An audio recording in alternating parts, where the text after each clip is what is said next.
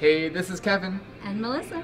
Welcome to Tantrum House. We're here at CMON Expo 2019. This video, we're gonna have lots of clips of things that we're doing this weekend so you can see how much fun it is at CMON Expo.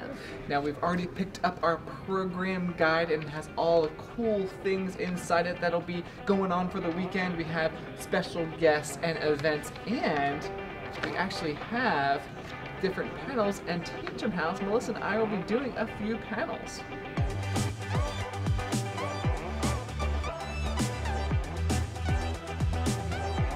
CMON Expo is known for their impressive swag bags, and we just picked up ours. Well, Kevin picked it up. There's some stuff for Zombicide, some survivors, and the cheerleader, and also some promos for Gizmos. Potion Explosion, 13 clues, a hero and monster set for Massive Darkness, and some monster promos for Rising Sun. The big item was a Song of Ice and Fire starter set with Stark versus Lannister, and then also a promo figure.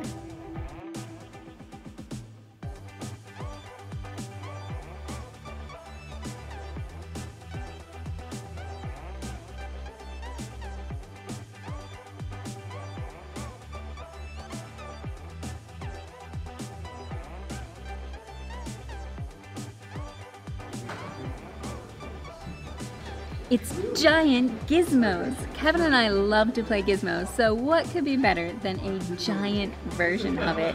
And it's sitting on an awesome game topper system.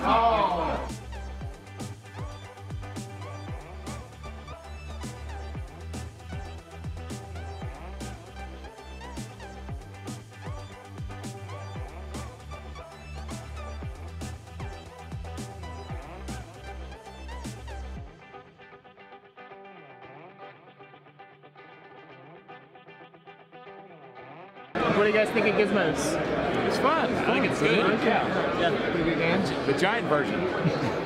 It's the- steroids. Gizmos on steroids.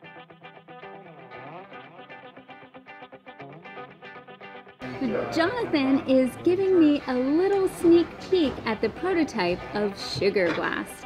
How does this play? So with Sugarblast, you need to try to connect three or more uh, sugar candies of the same type. So let me kind of show you how it works. So right here, I have a orange I can flip with this yellow to make three in a row. I would then pick up these three orange and set these aside. And because I'm sitting on this side, I would then shift the rest like that. Now, potentially I could get another blast chained, and then I would keep one of these orange for myself to complete an objective, and put the rest back in the bag and refill from the top.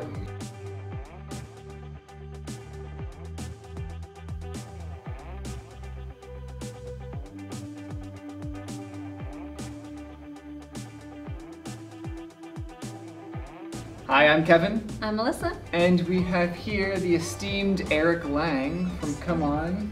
Hello. We, we appreciate you being here. Oh, my pleasure. Spending some time talking about uh, what's here at CMON Expo and what's coming soon from CMON Games. We appreciate uh, what we have in front of us. This is, looks really interesting. We were uh, part of the panel this morning about, uh, make sure I say this right, Trudvang. Uh, so yeah, I mean, Trudvang, it's, it's a hard name. Uh, internally, like we, we try to out Norse each other, so like I, I call it Trudvang. Oh, okay. Because I'm like part Viking. Well, if you're not familiar, Eric uh, has done some amazing games, designed some amazing games. One of my favorites from last year, Monopoly. What? I'm just kidding. I do have a monopoly on your heart in game. yeah. Rising Sun is actually my favorite game from last year. Oh wow, Thank, was it Yeah, 2018. I can't even keep track. Yes. So it actually was kickstarted in 2017, All right, and then right, it right. actually was published in 2018. Yeah, it's funny. I got designer brain, right? Yeah. So like I, I worked on the game in 2015. Wow. Right, and then handed it off in 2016. So like as far as I'm concerned, the game is 2015, 2016. right? So I'm like, Yes. yeah, that's right. It was last year. So it was my uh, favorite game. I just love all the different mechanics and what you uh, put into the game. Um, I know the drafting mechanic, but I think one of the things Melissa really likes is the how the the screen. Oh yeah, the how the battles resolve. I'm more Oh, of a. Euro gamer, Uh-huh. and so when I first looked at it, I was like, I don't think I'm gonna like this game. It looks like you're fighting people and just You- you, you know are. trying to wipe them off the map. But then I was like, oh, I can manipulate behind that screen and get points even if I don't win the battle, and I can you know strategize, and, and I really did enjoy that aspect of Oh, the cool! game. Thank you. Yeah, I mean, I'm, I'm about that, right? Like, even if you're losing, you get a little something, something, right? Like, And uh, in a sort of different way from Blood Rage, but broadly s- similar, right? Like, sometimes you're just like, you know what? This battle is all about getting me resources for the next one. So you overpay, right? and ideally, you want to win by the least amount possible. Right? Cool. So, Eric, we have a very important question to ask you. This sounds like a trap. On Twitter, um, Yeah, it's a trap. weeks ago, Uh huh. it says, I vowed that by year's end to have played every one of my published games in, in public. Mm-hmm. So um, at this point, you had listed a, a bunch of them. Um, so how's that going so far? We're in um, we're in almost June, so we're almost halfway through the year. Mhm. Tell us what's the update for all our people wanting to find out. Oh, Twitter, witness my shame. So I did this. I, I did this really to screw myself, right? But like, I I had this dream. I don't know where. So I'm going to tell you a story. I love stories. So in December, uh, when I, was, uh, I went back home uh, to Canada to visit for the holidays. I caught really bad strep throat, and I was like stuck in. Uh, I was stuck in a hotel room for like three days Oh, no. and I was like awake and had fever dreams and stuff like that. And I was like, at some point, like, you know what? I don't play. I haven't played enough of my games recently. I should do that. I'm like, but I always say that. I say that every year. But if I put it on Twitter, I'll be accountable. Here's part And of his accountability. Here we are, right? You're my accountability buddy. So um, let's say, let us say that uh, witness my shame. I have played, I believe, four Okay. on my list. So what are those? What are some of those? Uh, I played Blood Rage. I Okay. played. That's a good one. Um, I played Ancestree. Okay. Played. I'm going to be wrong about this. I, I'm almost guaranteed. Um, I, I'm pretty sure I played Secrets. Okay. Um, it's hard to like the. My sense of time is so messed up. Like like uh, November might be this year. That's but- okay. We'll count but- November as part of this year. No, we won't. No, no, no, no, no, no. Hold him no. to it. There's a November coming though. There is November coming. I, I will play all these, and I'm pretty sure. Well, I, mean, I know I played Dice Masters. I just don't remember if I played it in public or not. Okay. Um, oh, and I played Duelist, but that that's hard. I, I haven't really played it in. So- like, that's a digital game, right? The next question is, which one or two are you really interested in doing next, or is it pretty much any of them? Uh, it's it's a bucket list, dude. I Okay. gotta do all of them. Gotta do I all them. I mean, interest-wise, I actually want to play games that I haven't played in a long, long time. Okay. Right, which is some of the like really older stuff and hard to get stuff. Some of them are games I don't have because they didn't survive. I have old prototypes, or not old, pro- uh, like old published copies that did not survive a move, or Okay. that they got played so much they Oh. ran them ra- ragged. So I actually have to go and rebuy them and find them. um, like the, some of these are from like Well- from like 2002, 2003. Maybe you can post what those are on Twitter, and people will get them for you and send I'm them to you. afraid if I post it on Twitter, like I'm just gonna end up with like people are like, "What's your address?" I'm like, "No, no, no, no, no." boxes and boxes. You know? yeah, yeah. No, I'm. It's. It, look, I, I put it up there. I'm accountable. I'm gonna do it. It just that's. I know at some point I'm gonna have to like binge, right? Very cool.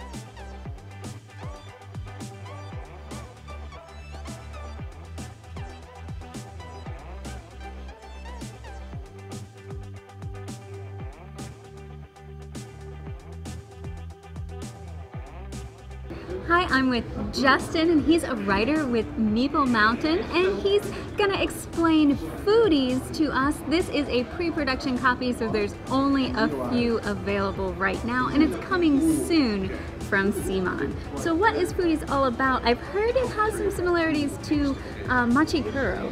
Yes, I've heard it described as the game we want Machi Koro to be. So, in Foodies, you are a manager of a food court, and you are trying to attract uh, food vendors into your food court from different cultures of the world. So here's how it works. Every turn, a start player is going to roll the dice, and they're going to activate their dice into their food court. Whatever is on their food court, they will collect. If they have built a food stall into their food court, they get to activate that space and collect a different reward than what's pre-printed on the board. So over the game, you're going to be building new stalls of these different cultures into your board. Every culture has a unique special ability, and they will trigger different bonuses for each player. Also, if you have a star that is completed and you're working to complete those throughout the game, and your number comes up, you will get to gain bonus points. The object of the game is to be the first player to reach 30 points in a 4 to 5 player game, or 20 points in a 2 to 3 player game. So it plays 2 to 5 players.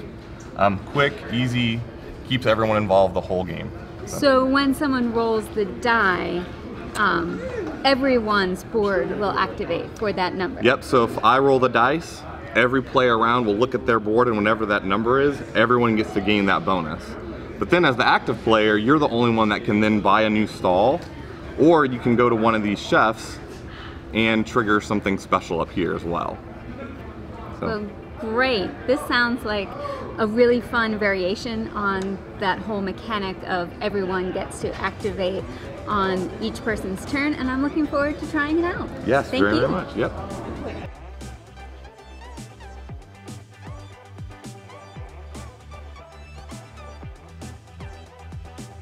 Yeah. All right, guys. What do you guys think of foodies? So I love engine building, and I love doing things on other people's turns. So um, it's better than Machikoro. Um, I probably would prefer this to Space Base. Um, in the spatial aspect, excellent, excellent. Yeah, sounds good. Oh yeah. Yeah, it's a good game. And it's because of Justin here, right? It Because is. of Justin. Yeah, he's, he's an excellent teacher. I probably would be Instructor, whatever he wants to be today. Guide, I don't know.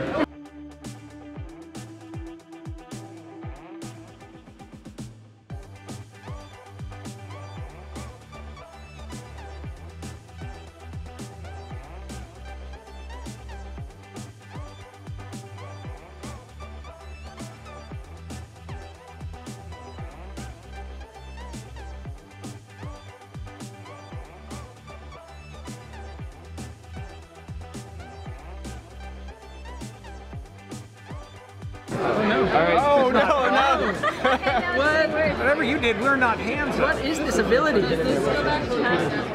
Sorcery. All right. All right. now we see what's I'm happening. a plane in a All right, car race. So we're bringing it on But I'm now. Losing really bad when I should Yes, be winning. I don't know what's going on here.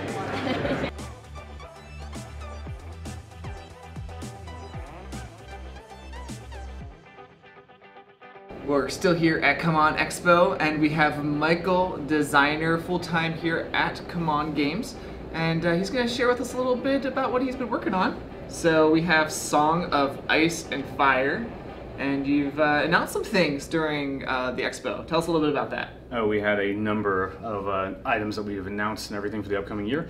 Uh, we had some unit updates, but that got almost overshadowed immediately by our two. uh, our next uh, major release, which you talked about, which was the Baratheon faction. Okay. Uh, one of the most fan requested uh, factions we've had since the game's inception. And then we kind of topped that by surprising everyone even further because that was actually leaked a few days before the expo with, okay, we're not going to let you know anyone else trump us. And then we announced Targaryens coming out as well. That's pretty amazing. So, Shell, tell us a little bit about what we have here. So, I see the Savage Giants.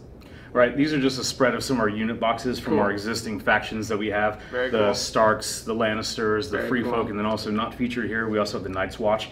Cool. But then our two new factions with the Baratheons and the Targaryens will be joining those to bring us to uh, six full factions before the end of this year. Technically seven when we have neutral forces such as like the Boltons and some other um, mercenary style guys. And if someone's watching for the first time, tell us just a sort of overview of what is a Song of Ice and Fire, the board tabletop miniatures game. Well, it is a table. Hey, I'm just like I'm like reading this right here. Awesome, Kevin. It is a uh, tabletop miniature game, rank and file. So each of these units is going to have unit trays. You're going to be moving them across the board, playing different scenarios and game modes, and objectives on a 1v1 game, which you can play in multiple people, but it's Okay. meant to a structured 1v1 like a traditional tabletop war game. Cool. Picking your different factions, each one has different strengths, weaknesses, units, such like there. Cool. And uh, a normal game plays if it's a one v one in about how long, depending on the scenario, I guess. It's actually going to be about an hour or less. That's one of the things we really Wow. strive for. Is that a lot of the traditional war games, they can go really long. You know, three, four hours in some cases. We wanted this one to be a very quick play, but still give that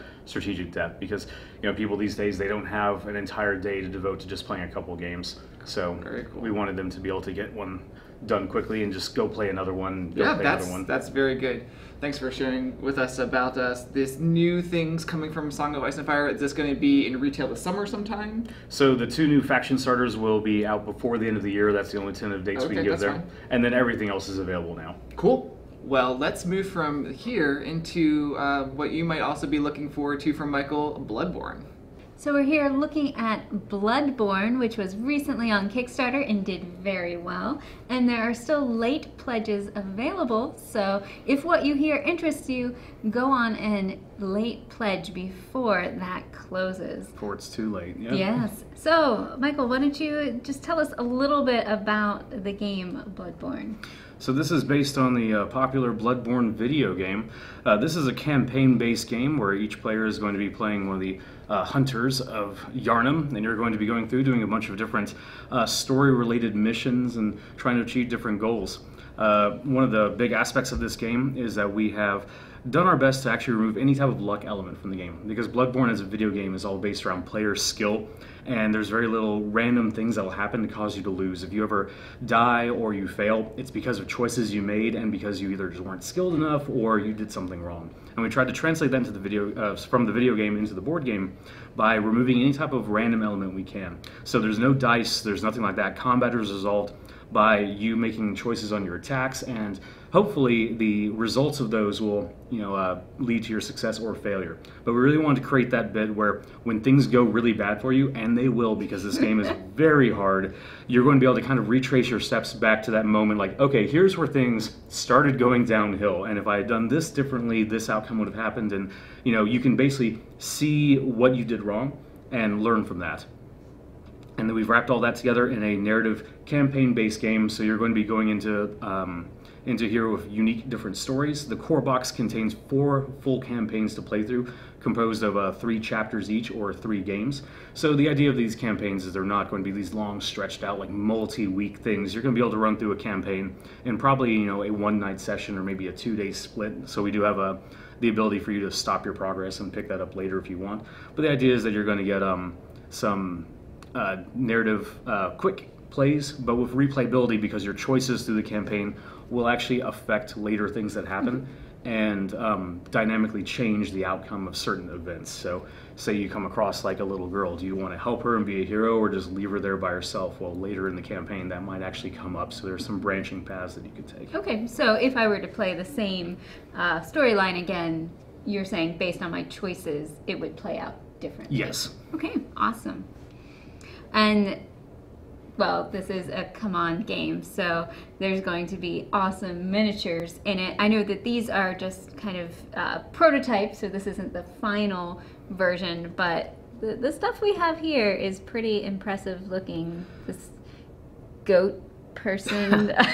So I'm not familiar with all of the lore, but I'm sure people who are familiar with the video game recognize some of these. Uh, So as noted here, everything is subject to change. You know, uh, before final release, the game is going to be uh, fulfilling a Kickstarter of May next year, 2020. But yes, all the miniatures here, these are the iconic enemies uh, from the video game, such as the Cleric Beast. And this goat one right here is actually Vicar Amelia, one of the actual fan favorites uh, there. But we've recreated all the enemies here, you know, directly from the video game, created custom hunters here with their own unique weapons and attire here. But basically, we've done everything we can to make everything feel in Bloodborne, and then the things that are directly from the game to accurately represent them the best we can.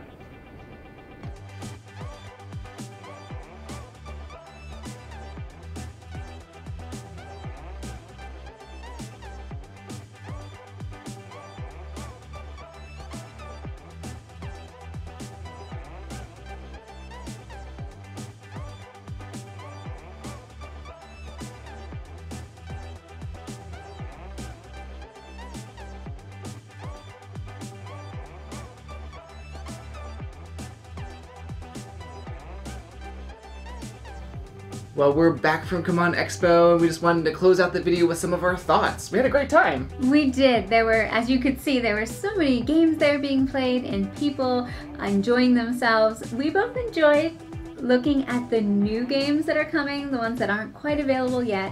Foodies was a lot of fun. Sugarblast. Yeah, I really enjoyed tipping the uh, board on that and kind of trying to see the patterns. and the God of War card game. All three of those games will be coming straight to retail from CMON. Um, in the coming months, we're not sure exactly the street dates, but maybe Gen Con. And we also enjoyed just meeting like lots of people there, and we were able to do two panels. Uh, one was about uh, board game media, sort of behind the scenes, sort of lifting the curtain back, and the other one's about hosting a game night. We enjoyed both of them and had a good crowd for both of them. Yeah, there was lots of interaction and talking and them asking questions, us answering them, e- even the audience uh, giving some of their thoughts and opinions, especially about hosting game nights, some of the tips and tricks that they have. So maybe you have questions for us. Ask those questions in the comments below. Thanks for watching this video, and we look forward to CMON Expo next year.